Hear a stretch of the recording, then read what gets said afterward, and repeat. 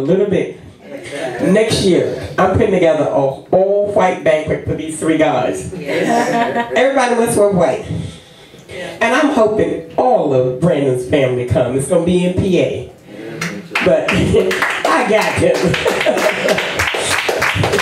and I done been up, look, I done been up in so much, I should be the pastor.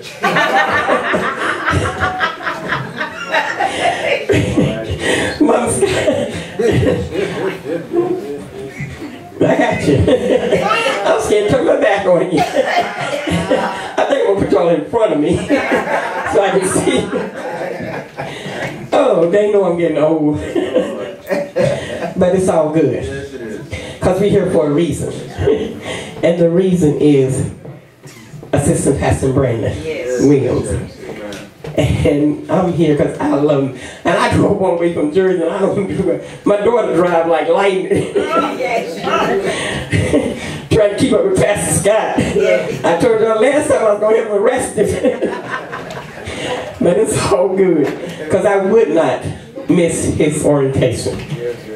I told God, just keep me. I told Courtney on Thursday, I can't even raise my own when you're trying to do stuff for Christmas. I heard all over. But Lord, please, Jesus, get me to the house of Job on Sunday. I woke up this morning, my daughter was like, what can you guys say? Well, I got my home halfway up. I said, the rest going to the church. I said, because I'm going to be with Pastor Brandon and them. I said, we might as well get on the road because if we got to go. Uh-huh. If the bridge go up, we might have to swim. But we're going to be with them in the house of the Lord. Because these are God's children. And I am so happy to be here. We try to make it here every Sunday. And the bridge is four dollars. Look, somebody got to get a job. but it's all good because God said, "Where there's a will, there's a way." He put food on our table, like the guy said, the little brother, light. Whatever you give us, we're gonna accept it. Because he don't give you no more you can take. We might wallow all night and hoop and holler. Pain, oh, unhappiness, but in the morning, there's joy. You can weep all night, but there's joy in the morning. And God ain't gonna let you suffer for so long. He either gonna keep you or he gonna take you with him. You ain't gonna suffer for so long. And he ain't gonna give you two more, more no more you can handle. And I know that. I know. I've lost two husbands and I'm still standing here. And there was time I want to fall down and cross over and jump over a bridge. Because my first husband passed away, left me with eight children to raise. Mm. And I said, Lord, Jesus, you did not do this. And you can always find yourself hating God sometimes. That's right. Like, why did you do this? There's people out here killing people every day and they're still here. He did nothing but take care of his family. Yes. And you can doubt God. That's right. Then I had to come back to reality and say, this is my work, not your work. You want to go north, but you're going south with me. You got your own plans, but I got my plans. And my plans is, he's coming home with me. After 18 years, I married again. I married Pastor Fred. Going home to be with the Lord. And I did not question him this time. I knew better. I looked at Pastor Scott, I said, I can't take no more. But whatever God says, whatever God do, Pastor Scott, I'm going to be here. I'm going to hurt my heart and all that, but I'm going to be all right.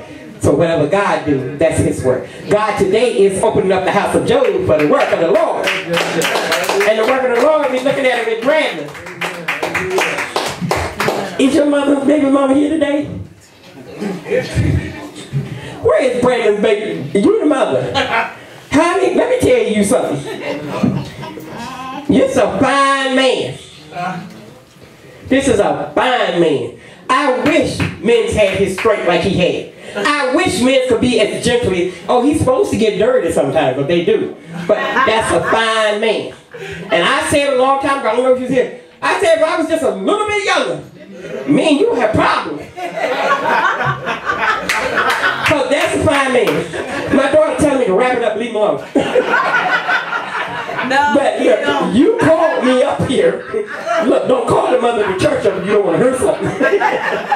right, Mama Scott? look, Pastor Scott, wrap it up.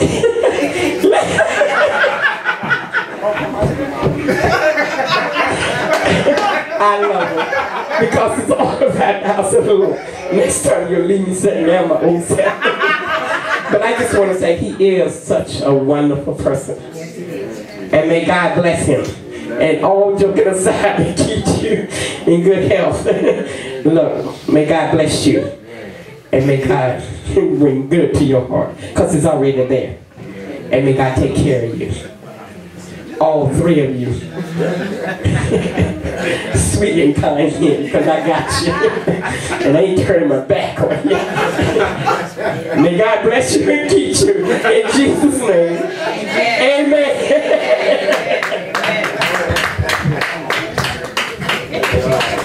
Amen. Hallelujah. Amen. We're going to move ahead now. Amen. Amen. Hallelujah. Give me a big favor. Just stretch out to the Lord. Come on. Stand up a little bit. Come on now. I know we've been sitting here.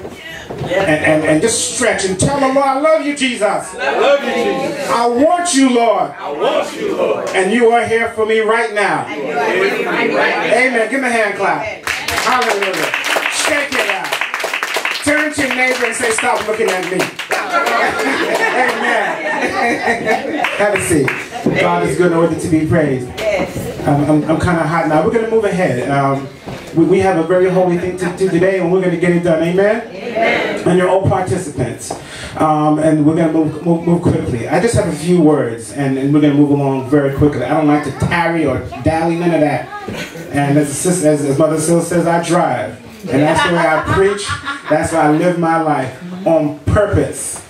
Sometimes make me tired though, but that's the way I am. Amen? Amen. Amen. And this is Christmas time, and this is a great time to, have a new assistant pastor because yes. since he first walked into the door, he's been a mighty gift. I think there were times when my strength wavered. I'm only human, and that's why you got to have two right hands yes. behind you because oh, yes. because where I don't have it, these brothers have oh, it. So we all need people. If you think you can do it by yourself, you're wrong. If, if you think you do it by yourself, you're deluded. If you think you can do it by yourself, you're a liar. And the truth ain't in you. I'm 55 years old and I still need my mother. Amen. I'm 55 and I still need my sons. You know, without them, I don't feel alive sometimes because they let me know that I got it going on, right? Amen. That's right. Um, this is Christmas time, and I'm going to speak quickly about, about Christmas because Brandon's been my gift, and Reverend Jesse's been, has, has been my gift also. Yes, yes. And so has my mother and Mother Herbert and, and Mother Sills. Without these four, I don't know where I'd be today. But I'm going to speak a little bit about, about, Christmas. We know it's about Santa Claus, and we're all wearing red, a lot of red hair. But I looked at I looked at um, Santa, and, and his name, as we know, was Saint Nicholas, right? Yes. But I read about this guy, and he was a bad guy. Right. He, he, they threw him in jail. Saint Nicholas liked to fight. There was the first council of Nicene, and here comes Santa Claus, Saint Nick, right? Yeah. And it's the first time they were trying to trying to lay down the rules for the Christian church. And this guy named Arius was in there talking, running off his mouth, talking about Jesus is not divine. Mm-hmm. And that's where it was a big struggle with the church, and it's still a big struggle with other of our of our Christian brothers. God bless them. And while this man was talking, Santa Claus, Saint Nicholas got up and punched the man in the face. Decked him. And, and this was in front of King Emperor Constantine, who won under the banner of, of the Lord. You see, we think Santa's going to come out a, a, chimney, but Santa was a man who didn't want to hear nothing about Jesus that was wrong. And that he, he was the bishop of Myra in Turkey.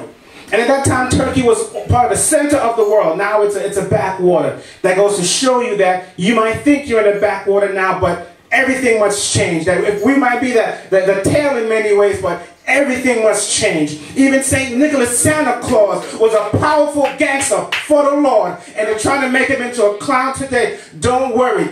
Everything must change, and it's because that's the way the enemy works. He, he wants you sometimes to see him to seem diluted. He wants us to think that St. Nicholas is, is, is, a guy in a red suit. No, he was, he was an old man, but he had enough strength to knock this heathen out cold in front of everybody. That's right. That's what the power of the Lord will do for you. When people think that you are counted out, when people think that you ain't got nothing left, call upon the Lord and see what happened. You will knock them out cold. He went to jail. And while he was in jail, he saw a vision of the Lord. They, they, they defrocked him. He was no longer bishop. He lost it all. But he saw the Lord show up. And, and he had an operation. And, and, and, and, and what, what they told him is that you shall always be a bishop. You see, it's not man who ordains. That's right, that's right. Amen. It is the Lord. Amen. It is not God who can set you on high. I mean, it is not man who can set you on high. It is the Lord. And, and the example of, of St. Nicholas is an example of how we treat Chris, Christmas today. Christmas, of course, means Christ's Mass. The Mass of Christ. We know Christ means the anointed one. The anointed one of God. The Bible further tells me that in the beginning was what? The Word. And the Word was with God. And the Word was God. And that's what Santa Claus knew. That's what St. Nicholas do. And that's why he uppercut that brother to the floor. Amen? He didn't want to hear no crap about Jesus is not divine. Amen. And that's the trouble with Christmas now. We think that Jesus is not divine. Uh, You see, but St. Nick had a gift. His gift might have been Mike Tyson's gift. Whatever his gift was, he used it for the Lord. Whatever your gift is, use it for the Lord. Don't never think people are going to think you're too street. You're too ghetto. You're too this. You're too that. You're too short. You're too big. You're too skinny. You're too ugly. You're too black. You're too white. Yes, yes. Amen. They can't even describe you, but you use what they don't like about you to use to further the aims of the Lord. And that's what Christmas is about. Christmas is realizing your gift. It's the thing you can't buy. It's the thing they can't take away. They couldn't take away Santa Claus's bishopric. Couldn't do it because it was given to him by the Lord. And every morning we wake up it's Christ Mass. It is, it, it is a time of acknowledging the anointed one in our lives. Nothing else. That second word of Christmas means Mass. It means, it, it means in the, in original term, it meant dismissal. Not like we say to people, I dismiss you. You diss me. You know? Get away from me. Be ye gone. Not that kind of thing. Dismissal in the original sense meant mission. Yeah. So Christmas is Christ's mission. The mission of the anointed one. Yeah, yeah, yeah. The mission of the anointed one is clear. It, it, the brother mentioned John 3.16. That's his mission. That whomsoever what? Believeth in him shall not perish but would have what? Everlasting life. That's when you're going to find the strength to put these people to shame who show up in front of your face talking crap. Santa Claus did not come down no chimney. He came with a right hook. And sometimes we gotta come with a right hook for our problems. Don't be afraid. Don't make this thing into a joke. Christmas is about power. Christmas is about creation. Christmas is about acknowledging the originator of life. Every morning is a new day. Every morning is a new Christmas. Every morning is a gift. Every night is just a, a time for the Lord to say pretty soon to you, let there be what? Light. And there was light. And God said, it is what? Good. That's Christmas. You don't need to buy a single thing. You don't need to go on the debt, throwing up your credit cards. Don't worry if you don't have it. I'm going to tell you what you got. You got your old crazy self. You got your old disagreeable self. You got your doubtful self. You got your depressed self. You got whatever self you got today. Broke leg, skinny leg, no leg, whatever is you got, it's a gift from the Lord. Use it. Yeah. Yeah. And when the enemy shows up telling you that Jesus is not divine, Enemy show up telling you that you gotta buy things to, to have a good holiday. The devil is a liar. You don't need none of that stuff. Because if you look in the mirror, you need to understand there has never been something like you before, and there never be another one like you again. It, it, it is an honor to know you. It is an honor to see you. It is an honor to touch you and hold your hand and speak before you. God has given us these gifts. And each one of them is you. And let me tell you, St. Nick was just, he was probably a regular Negro. He was one of us walking around here. He just was, he was packing his, his, his right arm. And sometimes we think that we need all these things. We don't. If God before us, what? Who can be against us? Hallelujah, Jesus. I'm reminded of, and I'm done, a part of the Bible where there was a beggar. And he was at the gate called Beautiful. Yeah. What the Bible says, though, the gate was not really called Beautiful, but we know that translations occur. But what it was, the right time gate. Yeah. He was a beggar at the right time. And the Bible says that Peter and John was headed to the temple to pray at the ninth hour. And the man was there trying to get alms. And alms, A-L-M, was a word that meant to, to have compassionatedness. I'm not speaking in bias. It's a word. Compassionatedness. It, it means to have a, a, state of mind where you're compassionate. Like being opinionated, you can be compassionated. And the, the, the, to put people in a state of compassionatedness, he was there begging for things. Like we do with our own attitudes on Christmas. You don't have to worry about these things. And when Peter and John saw this man, what he said to them, Look at us.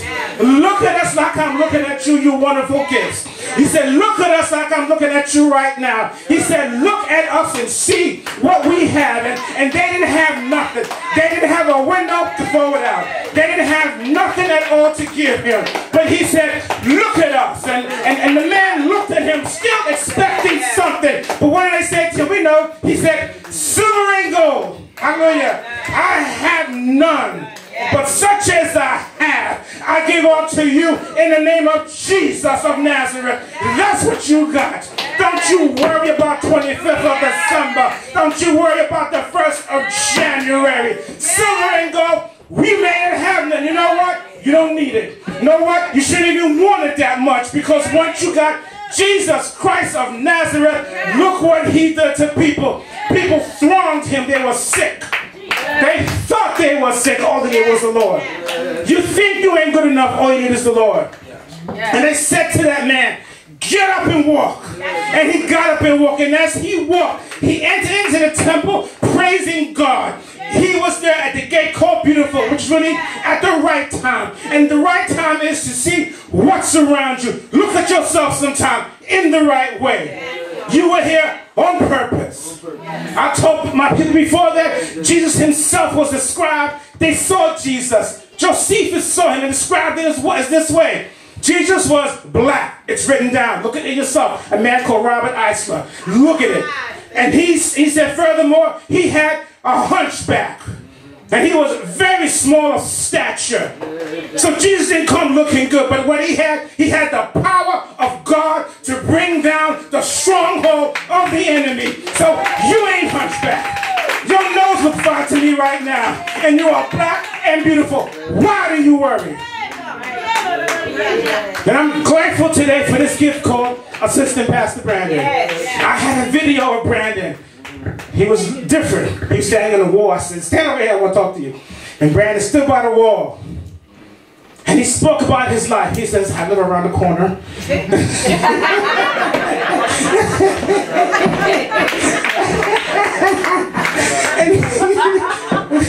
I got videos of all of you, so don't laugh, okay? And, and, and he was humble. Yeah. But I saw the strength in him. And I was here preaching like I'm preaching now. It was empty in here. And one person showed up. Brandon showed up. Amen. And I finished the sermon. He was walking by.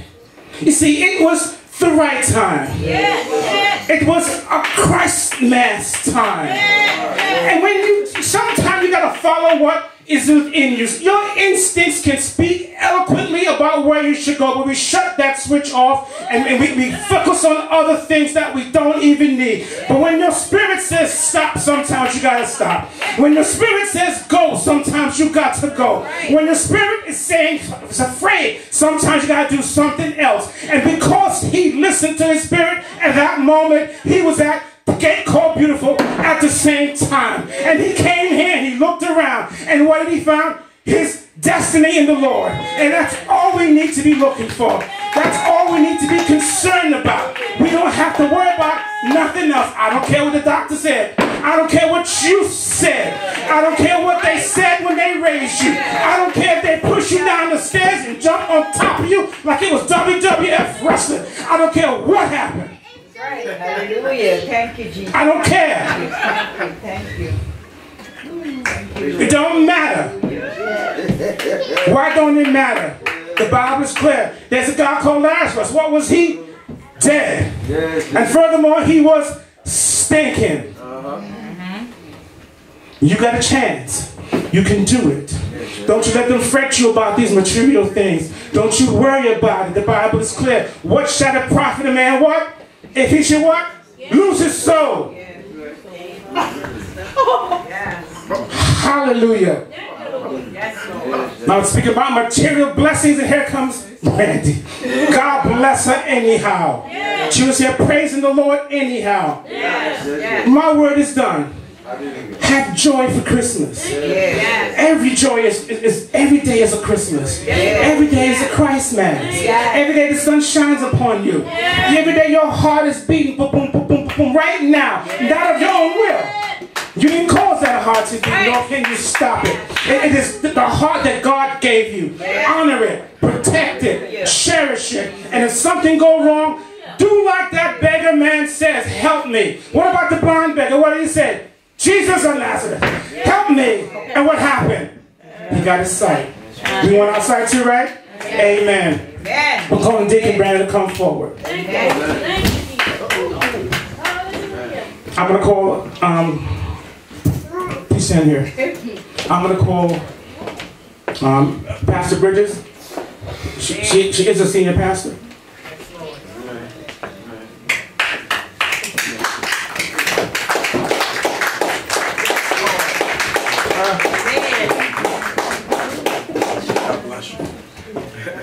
Anoint him on your knees. Stretch out your hands towards, towards Brandon. Come here, sister. Anoint him and pray.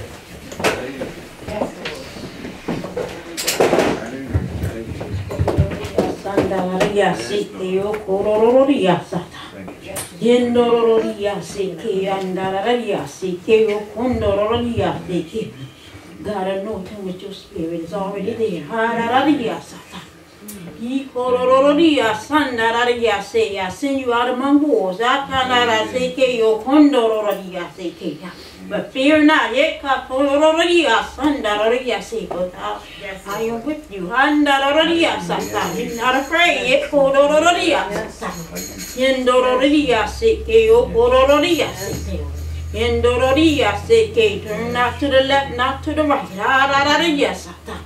Ikorororia seke. Handororia se. Thank you, Jesus. Glory to God. Thank you, Lord, that your will be done in this land, God. Lord. Hallelujah. Let's touch you. Cover with your anointing. Yeah, Lord, put your arms around them, God. They camp around the Lord. In the name of Jesus. From the crown of his head to the sole of his feet, God. Oh, right now, Lord, pour out your anointing all upon his life right now, Lord. In the mighty name of Jesus. Order his steps, Lord, in the name of Jesus. Oh, God, in the name of Jesus. Let him hear your voice, God. In the name of Jesus. Oh, God, right now, God. Right now, Lord. Let your will be done in his life, God. In the name of Jesus. Go with him and be with him, God. In the name of Jesus. Let your seal be upon him, God. Hallelujah. Let him know, God, that you have sent him. You have ordained this day for him, God. In the name of Jesus. Let your will be done in this life. Jesus' name. Heavenly Father God, we thank you. Thank God, for my brother, God. Thank you, God, for his love, God. Thank you, God, for his endurance, his patience, God, his sincerity, God. Lord, we thank you for him, Lord. And Lord, as you go forth, Lord, into your ministry, God. As you bring them higher, Lord, we ask you, Lord, that you